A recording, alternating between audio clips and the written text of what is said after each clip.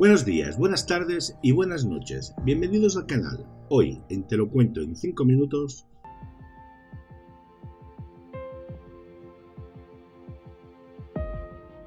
Hoy encontrada en un parque de atracciones tenemos Destino Final 3, film dirigido por James Wong y protagonizada por Mary Elizabeth Winstead, Brian Mirreman, Harris Allen, Alex Johnson y Sam Ashton, con una duración de 92 minutos del género terror fue estrenada en el 2006. La estudiante de secundaria Wendy Christensen visita un parque de atracciones con sus amigos en Pensilvania.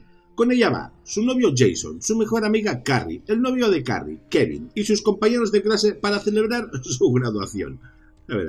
Mientras suben a la montaña rusa Devil's Flight, una referencia a la primera historia, Wendy tiene la premonición de que el sistema hidráulico que asegura los cinturones de seguridad y las cabinas de la montaña rusa fallarán durante el viaje, matando a todos a bordo. Después de esa mala experiencia o pesadilla, ella intenta y convence a nueve personas, incluidas a Kevin, las mejores amigas Ashley y Ashlyn, el exalumno Frankie, el atleta Levis y la pareja gótica Ian y Erin. La cosa es que son muchos y la muerte tendrá mucho trabajo. Todo eso impidiendo de que no suban a la montaña rusa, pero no lo logra. Salvar a Jason y a Carrie. Así que buen viaje y que lo disfruten. Y bueno, lo disfrutan, pero brevemente porque mueren en el descarrilamiento. Entonces, varias semanas después, Kevin le cuenta a Wendy sobre la explosión del vuelo 180 y las posteriores muertes de los sobrevivientes, creyendo que pueden estar en una situación similar. y no, similar no, la misma.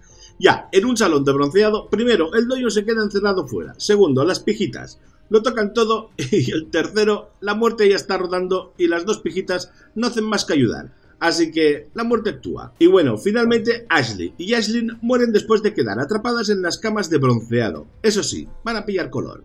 Ahora, convencidos de que la muerte los está acechando, Wendy y Kevin se proponen salvar a los sobrevivientes restantes usando presagios ocultos, en fotografías de los sobrevivientes, que Wendy tomó la noche del accidente de la montaña rusa. Después del entierro de las pijitas, y cuando Wendy y Kevin se detienen en un restaurante de comida rápida, entonces observan a un camión semirremolque fuera de control que los obliga a escapar del vehículo de Kevin antes de que choque. La colisión posterior hace que el motor del coche de Kevin salga volando y le dé un masaje en la nuca a Frankie, abriéndole las ideas. Al día siguiente, Wendy y Kevin van a ver a Levis para advertirle de la muerte. Él está haciendo pesas y les dice que siempre gana. Él siempre gana, claro. Bueno, pues a lo mejor en otra ocasión, porque en esta su cabeza es aplastada por dos pesas de una máquina en el gimnasio de la escuela. Más tarde encuentran a Ian y Erin trabajando en una ferretería donde una reacción en cadena de una carretilla elevadora fuera de control le permite a Wendy salvar a Ian de su muerte. Y en el acto final, de esta historia. Sin embargo, la muerte salta hacia Edin, quien cae sobre una pistola de clavos que se dispara repetidamente a través de su cabeza y va a necesitar unos días de baja, si no unas semanas. Mientras identifican los dos últimos sobrevivientes de las fotografías cuyos rostros están oscurecidos, Wendy se da cuenta de que son su hermana Julie y una de sus mejores amigas.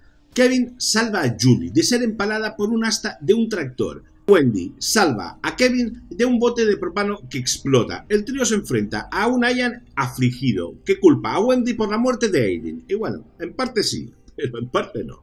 Sin embargo, antes de que Ian pueda vengarse, un carro inestable de cañones de fuego artificiales lanza fuegos artificiales a un recolector de cerveza que cae y lo aplasta.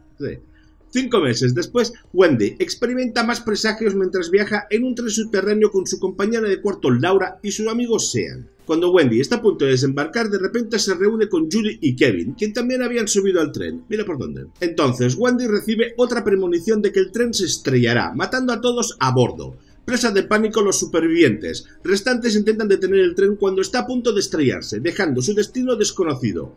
Fin de esta historia. Reírse de las cosas a las que tememos es un mecanismo de defensa y quizás ninguna franquicia cinematográfica en la historia del cine ha mostrado esa respuesta de una manera más eficaz que las películas de destino final. El elenco, al igual que en las otras películas, es útil y hace el trabajo. Incluso los personajes recortados que solo existen para ser eviscerados son especialmente unidimensionales aquí, pero poco importa. También es verdad que esperaba otro cameo macabro de Tony Todd, pero no aparece en carne y hueso. Sin embargo, creo que él es la voz del demonio cuando los estudiantes entran en la montaña rusa.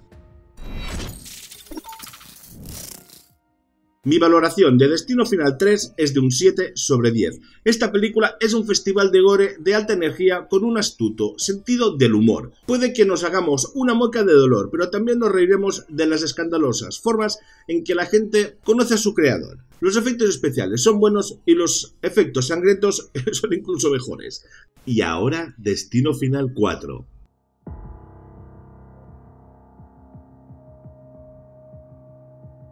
Hoy, encontrada en un circuito de carreras, tenemos Destino Final 4, film dirigido por David R. Ellis y protagonizada por Bobby Campo, Chantel Van Sante, Nick Zano y Michael T. Williamson, con una duración de 82 minutos del género terror y thriller, fue estrenada en el 2009. El estudiante universitario Nick O'Bannon observa una carrera de coches con su novia Lori y sus amigos Han y Janet, ya en el McKinley Speedway para su descanso semestral. Nick sufre la premonición de un accidente en el hipódromo que envía escombros a la tribuna, así matando a la gran mayoría de la gente provocando el colapso del estadio. Cuando Nick entra en pánico, se desata una pelea y varias personas abandonan el estadio, incluidas Lori, Han, Janet, el conductor de la grúa Carter, Samantha, el mecánico Andy, su novia Nadia y el guardia de seguridad George. En esas que mientras Nadia responde diciéndoles si perdieron la cabeza, entonces una llanta perdida sale volando del estadio. Y bueno, nuestra amiga sí que pierde la cabeza. Cosas del destino. En las noches posteriores del accidente,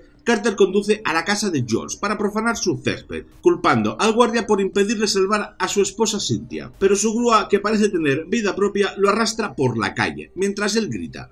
Todo eso antes de explotar. Al día siguiente, Samantha, que está en el salón de belleza, está a punto unas cuantas veces de visitar a su creador, pero se salva en todas las ocasiones. Ya saliendo del salón, les advierte a los niños que no les quitará ojo. Y la muerte, en esta historia parece ser una graciosilla. Así que, una piedra impulsada por un cortador de césped le atraviesa el ojo y la mata.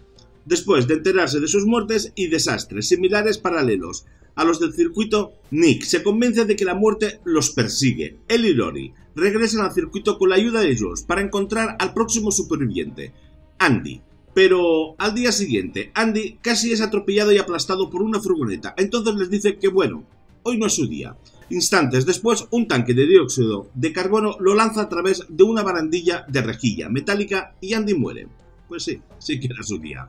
Después de que Nick predice que la muerte de Han y Janik involucrará agua, George y Lori encuentran a esta última que está atrapada en un lavabo de coches que funciona mal y logran rescatarla por los pelos. Sin embargo, Nick llega demasiado tarde para salvar a Han, quien accidentalmente activó el sistema de drenaje de la piscina en el club de campo y terminó siendo destripado por la tubería de drenaje. Cuatro días después, Nick se da cuenta de un informe de noticias que otro espectador, Jonathan Groff, fue rescatado después del colapso de la pista. Nick y George rastrean a Jonathan en un hospital donde se estaba recuperando del accidente solo para presenciar ser aplastado por una bañera desbordante de agua que cae por el techo. Cuando se van, Nick recibe otra premonición de una multitud de explosiones en el centro comercial que conducen a la muerte de Janet y Lori, pero no logra salvar a George, quien es atropellado por una ambulancia antes de que Nick pudiera advertirle. Nick vuelve corriendo al centro comercial para intentar detener la explosión antes de que ocurra a pesar de estar clavado en una pared por una pistola de clavos,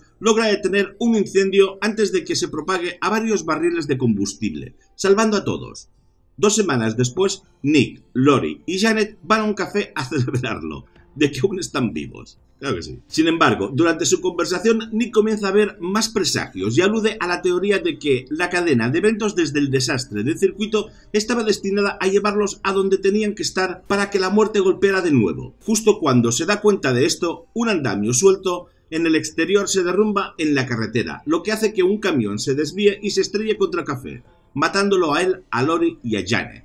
Fin de esta historia. Esta es la cuarta película de 5. Como era de esperar, con sus tramas y personajes de copiar y pegar, realmente no aporta nada nuevo al género de terror o a la franquicia de Destino Final en sí. Parece que se está cansando bastante de sí mismo, y debo admitir que nosotros también. La franquicia exprime cualquier pizca de trama o individualidad del género. Es una película desapasionada que se muestra a un público aburrido y cansado de los trucos limitados de su repertorio. Sinceramente, la novedad, si se puede llamar así, de las películas es ver cómo van a morir los personajes, y realmente es como ver un accidente automovilístico y de alguna manera apela al lado masoquista de la naturaleza humana para ver cómo se juega su inevitable destino. parece haber una propensión a los líquidos para encendedores o aceleradores en esta película. Mi valoración de Destino Final 4 es de un 5 sobre 10. Las películas de Destino Final siempre han poseído una especie de pureza cruda, incluido más que en la mayoría de las películas de recuento de cadáveres, donde la narrativa suele ser más un pretexto que un elemento legítimo real. Esta saga está inusualmente ansiosa por admitir que se trata de una cosa, y solo una, las muertes, y simplemente estas no son tan buenas, y recuerda, las muertes son eso, la única y única razón para ir a ver una película de destino final. Y esta entrada es simplemente menos imaginativa que las otras, y mucho menos repugnantemente sangrientas. Ahora, Destino Final 5.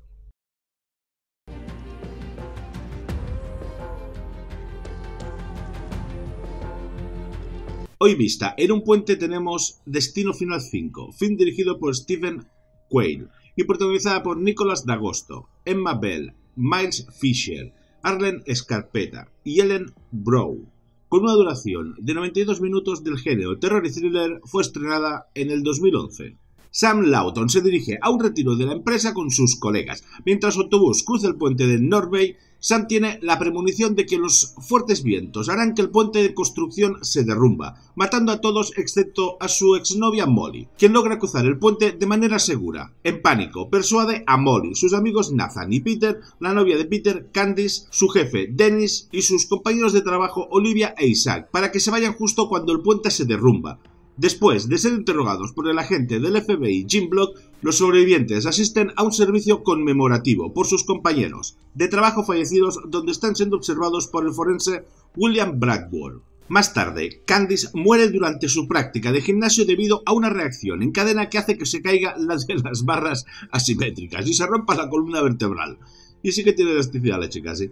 Al día siguiente, Isaac muere en un spa chino cuando su cabeza es aplastada por una estatua de Buda, que cae durante una sesión de acupuntura. Blackwood, quien ha estado presente en ambas muertes, les dice a los sobrevivientes restantes que si desean engañar a la muerte deben matar a alguien que nunca estuvo destinado a morir en el puente y así reclamar su vida útil restante.